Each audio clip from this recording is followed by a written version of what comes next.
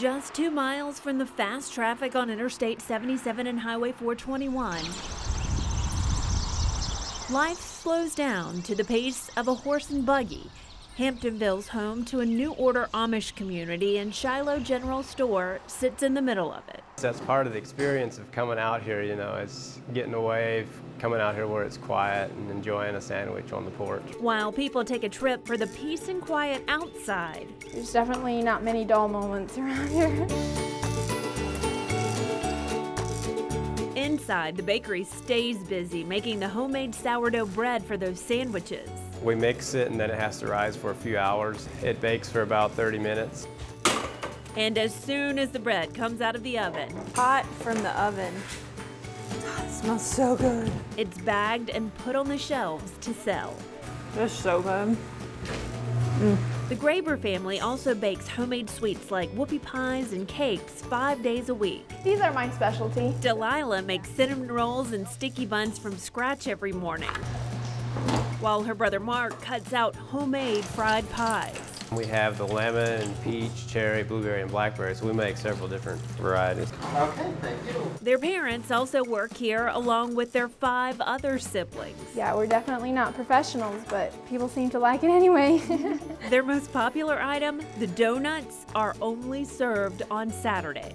Well, it's too much work to do it every day. It's doing it the hard way, but it's there, there's nothing quite like a homemade donut. Edna Southers waited at the door to make sure she gets those donuts. They are so soft and round and light and fluffy and they just they're just wonderful. And usually there's a line waiting, waiting to come in on Saturday mornings for the donuts, and we try to have warm ones ready. Sometimes we're sold out by 11 o'clock. They're soft and fluffy and divine. The Grabers give credit to really good ingredients made by other Amish communities around the country. There's people here from Pennsylvania, we come from Indiana, and there's some from Ohio here too. And they say they enjoy sharing a taste of Amish life with anyone who stops by. Warm bread every day helps a lot. Here you go, sir.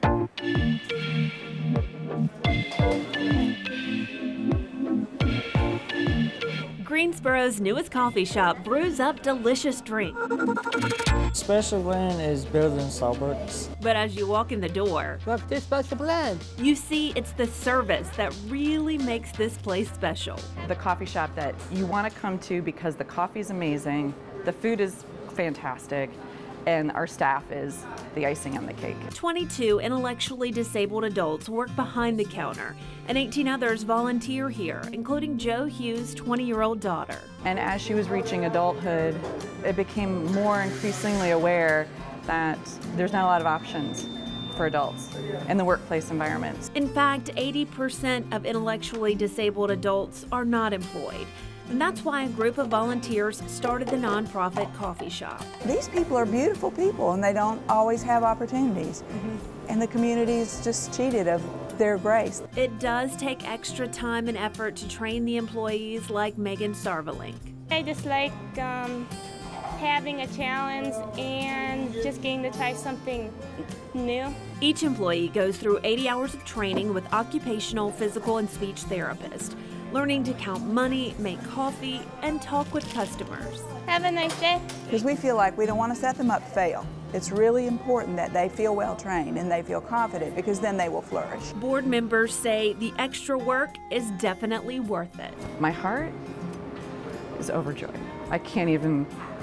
I see, I, I- every time I walk in the door, I want to cry because seeing the looks on their faces, knowing, knowing for the first time ever, some of these people have ever received a paycheck. Stephen, you're always smiling, huh? Yes, I am. For me, it's so enjoyable to watch them flourish, to see them walk in with pride and be excited. What do you recommend, Ryan? What do you um, like? I like the signature blend coffee. And when I stepped up to the counter to place my order with Ryan Cheshire, I received so much more than just a cup of coffee.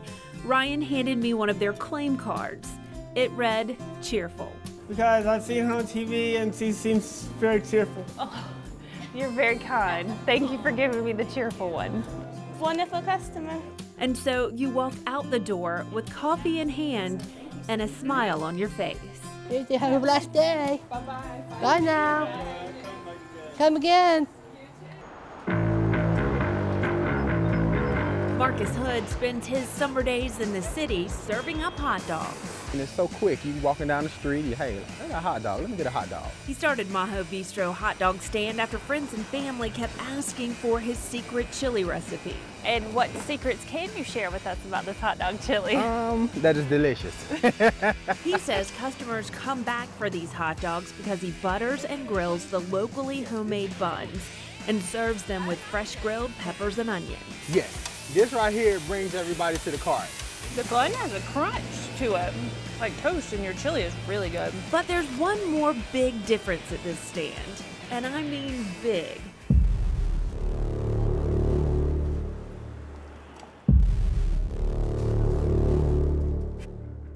Marcus serves an 11 inch, 22 inch, and even 33 inch hot dog on custom made buns. Actually, we have to do three hot dogs in one because our grill is not big enough. So we put three hot dogs in one, but the bun is normally the 33 inches. And for fun, he challenges his customers to finish the 22 inch in five minutes and the 33 inch in just seven minutes. Actually, it's called the Goliath. And it's the, if you can beat Goliath, you can beat anything. Only this one man has ever finished the 22 inch in five minutes. It was really hard. First bite, I was full. Now, Walter Jordan has returned to try to take down the 33 inch Goliath. yeah, it gets me prepared, you know. While he prepared himself, Marcus made the hot dog. Those aren't small hot dogs. No, these are actually uh, what they call two in ones. And you get two hot dogs in one, So that's four hot dogs, really, you're gonna sit and eat. four hot dogs. Dang. Finally, time for the challenge. Angel Marrero also joined in for the 22 inch challenge. All right, you guys ready? Five, four, three, two, one. Okay, they're off. Angel had to finish the 22 inch dog plus a bag of chips in five minutes.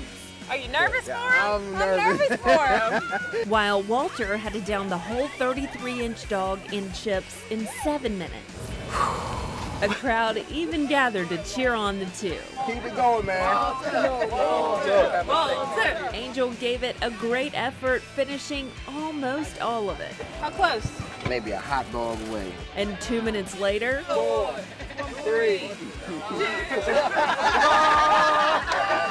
Walter went down to the wire too. now, I probably won't eat another hot dog this whole summer. but yes, it was really good.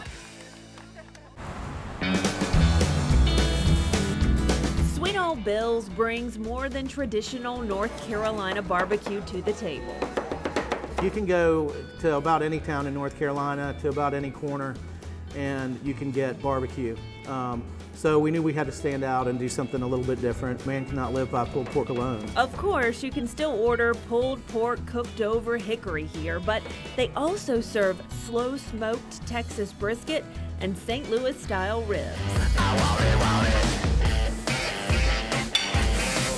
We also have a smoked chicken that is a very big hit here um, that we serve with an Alabama white sauce. So we've drawn from a lot of different regions as far as the barbecue parts go. And that's just the meats. The tomato pie comes piled high with cheese. That's delicious. I love the cheese with it. And the most popular appetizer on the menu deep fried deviled eggs. Everybody's curious to try this. It's one of our uh, more popular appetizer items. A little dot of our blueberry compote on each one. That's good. It really is, even with the blueberry on it. I didn't think I would like the blueberry on it, but it's good. I don't think I would like it without the blueberry. The chef rolls the deviled eggs in panko breadcrumbs and drops them in the fryer for just a few minutes. Oh, Everything's already cooked, so the biggest thing is you're trying to make the outside nice and crispy. We watched him make their big brisket nachos too, topped with everything from queso and smoked corn salsa to cilantro lime crema, and of course, brisket. And that's a showstopper here. Owner Bill Hurd just opened the restaurant on Main Street last November. It's been beyond expectations. For lunch and dinner, people pack both the restaurant and the bar. I always wanted to have a barbecue restaurant, but what was always frustrating in North Carolina was that 99% of the places that served good barbecue were very old school. More importantly, they didn't have a bar. Bill admits sitting next to the award winning Brown Truck Brewery helps to bring people to this once empty block. Yeah, we're right around in here. Hurd's happy with the fast success for his hometown, and he believes his father would be proud too. He named the restaurant after him. He used to have these business cards that said, Sweet Old Bill. And they're at the bottom, but more often, they use the initials. Initials being. Um, well, you, you know, you can, you, you, you can, you can do that. so. Just another unexpected surprise at Sweet Old Bill's. In the South, tea is served sweet and on ice, except at this spot.